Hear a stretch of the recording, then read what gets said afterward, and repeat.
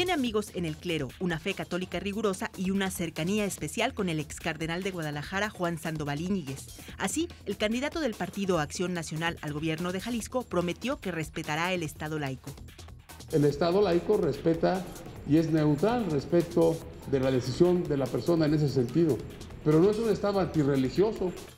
El candidato se reunió este jueves con miembros de la Unión de Comerciantes del Mercado de Abastos que le pidieron cambiar la infraestructura del sitio. Ante los comerciantes, el candidato derechista presumió que tiene 11 hijos, pero insistió que no es tan conservador. No, no soy de López Dei, respeto mucho eh, la institución, pero no, no soy. Me dicen, ¿te gustan mucho los niños? Digo, no, me gusta más mi mujer.